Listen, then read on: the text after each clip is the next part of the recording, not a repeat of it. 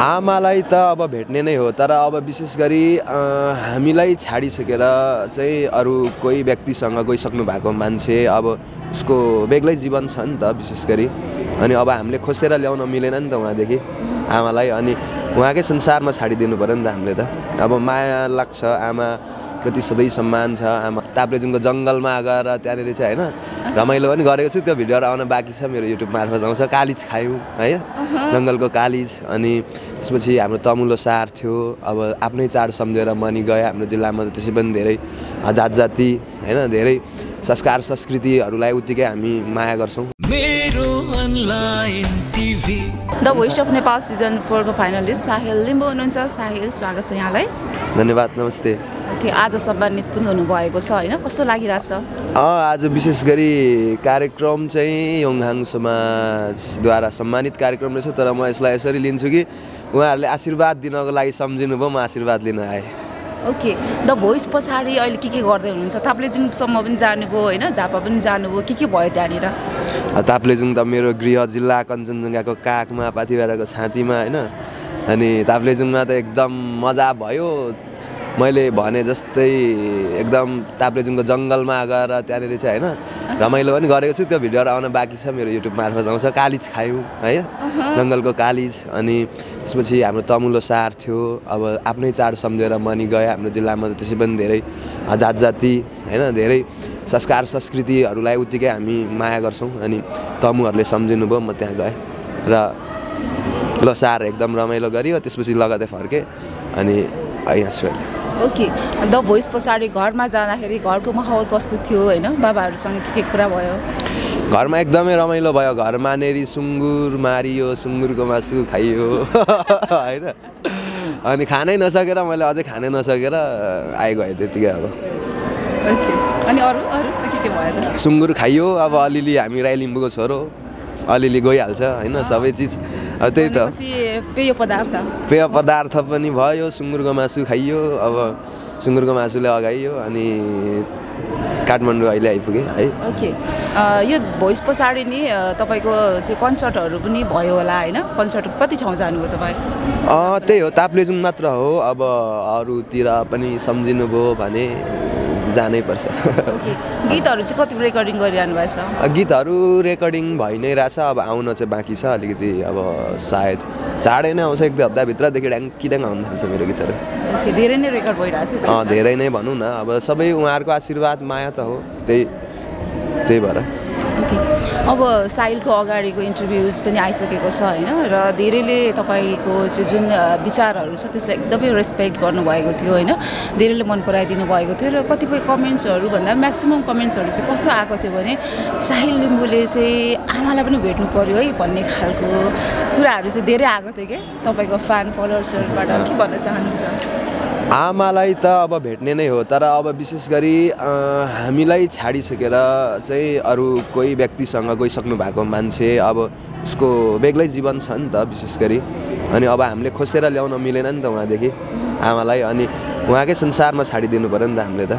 अब माया लाग्छ आमाप्रति सधैँ सम्मान छ आमालाई सधैँ पूजा गर्छौँ हामी तर अब उहाँ अर्कै व्यक्तिसँग भइसकेपछि मेरो बाबासँग नभइराखेको अवस्थामा हामीले अब मेरो बाबासँग आउनुहोस् अब गइसकेको मान्छेलाई फेरि खोसाएर ल्याउने कुरो भएन नि त मेनली चाहिँ हावा भेट्न त गइहाल्छु नै म। त्यो भन्नु भन्दाखेरि पनि होइन एउटा आमा र छोरा छोरीको बच्चाको सम्बन्ध भनेको त्यो त्यो अमिट हुन्छ एउटा रगतको साइनो मनमुटुको साइनो हुन्छ नि त।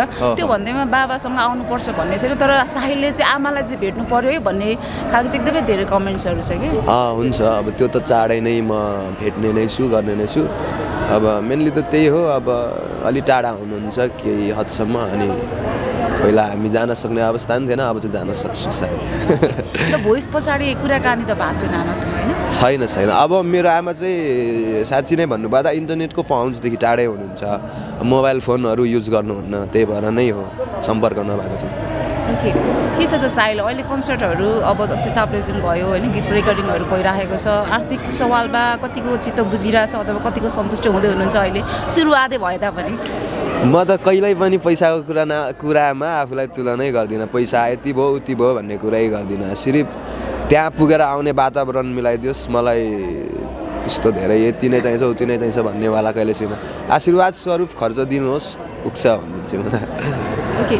ओके तपाईँको कोच प्रविशा म्यामसँग चाहिँ तपाईँको भेट भएको छ कि छैन? त्यस पछाडि चाहिँ भोइस पछाडि चाहिँ? अँ भइसके लगतै पछि भेट भएको पनि छैन। अब भेट्ने प्लानकै लागि पनि आएको खास गरी। अनि अब भेट्छु चाँडै। ए ओके अब धेरैले चाहिँ धेरै कोचहरूले अथवा राजेश सरकै कुरा गरौँ होइन आफ्नो चाहिँ चेलाहरूसँग चाहिँ एकदमै धेरै गीतहरू रेकर्ड गराउनु पनि हुन्छ होइन। प्रमोद सरले पनि अब राजु सरले पनि होइन गराउनु होला होइन। प्रमोद सरले पनि गराउनु भएको थियो अगाडि पनि होइन।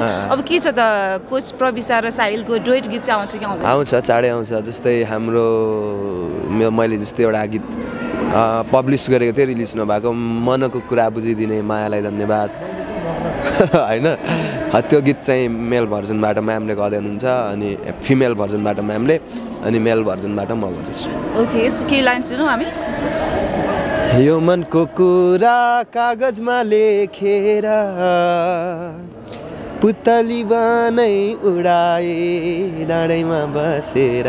यस्तै यस्तै छ। म त्यो त्यो लाइभ इन्स्ट्रुमेन्ट प्ले नगरी बजाउ गाउनै सकिनँ क्या चाहिँ। अप्ठ्यारो लाग्यो। म त्यो सुन्न सक्नुहुन्छ तपाईँहरूले? ओके साहिलको लभ स्टोरीको बारेमा केही थोरै धेरै थाहा भयो होइन? अहिले चाहिँ के छ? प्रपोजहरू चाहिँ कति आइरहेको छ त साहिललाई मलाई प्रपोज नै आउँदैन खास गरी प्रपोज नै नआउने मान्छे अनि त्यो म छोरी मान्छेको म्यासेज नै हेर्दिनँ क्या साँच्ची भन्नु अब चाहिँदै म्यासेज मात्र हेर्छु। किनभने अहिले जुन काममा फोकस छु त्यही म्यासेजहरू हेर्नु पऱ्यो नि त। बेकारमा हाई हेलो भनेर बोलिराख्नु पर्ने जरुर नै छैन अहिले त्यही भएर चाहिँ हेर्दिनँ। म्यासेज त हेर्नुहुन्छ तर पनि त्यस्तो खालको चाहिँ त्यस्तो खालको म। अब हाई हेलो भनेपछि जे सोध्छ उसको रिप्लाई आउन दिने हो आफैले चाहिँ अब अलि बढी बढाइ चढाइ कुरा गर्नेवाला। त्यो चाहिँ समय मिलेकै छैन तपाईँहरूकै मायाको कारण। हुन्छ त हामी अन्तमा चाहिँ अन्तमा के भन्न चाहनुहुन्छ? अन्त्यमा अब आज यहाँ छु यहीँको प्रसङ्गको कुरा गरौँ। योङहाङ समाजलाई धेरै धेरै धन्यवाद सम्झिनुभयो। आशीर्वाद दिनलाई बोलाउनु भयो म लिन आएँ। कुन गीत गाएर सुनाउँ अलिकति फेरि? चाहिँ छोटो पनि भयो होइन एकदमै चाहिँ दर्शकहरूको लागि नै स्पेसल्ली चाहिँ। हुन्छ अब कस्तो खालको गीत गाउने? ठ्याक्कै यही गीत भनिदिनु न त ल म तपाईँहरूले भनेकै गीत गाइदिन्छु आज चाहिँ।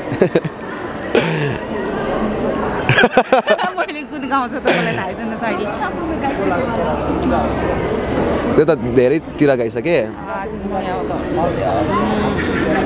राजेश सरको? राजेश सरको ल एउटा गीत गाउनु एक लाइन मात्रै गाउँछ ल। दुई लाइन गाउनु न कस्तो छोटो गाउनुहुन्छ ल ल। त्यो बाजा बिना म गीतै गाउनु सक्दिनँ क्या खासमा। मलाई चाहिँ चाहिन्छ नै चाहिन्छ बाजा चाहिँ गीत गाउने बेला। अनि कहाँ सुर न बेताल भइजान्छु त अनि।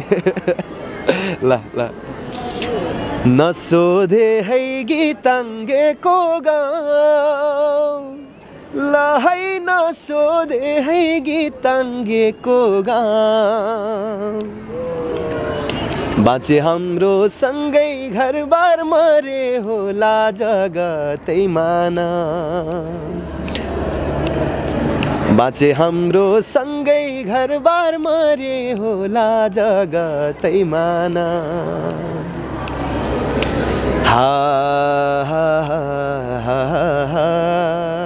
यस्तै होला सर।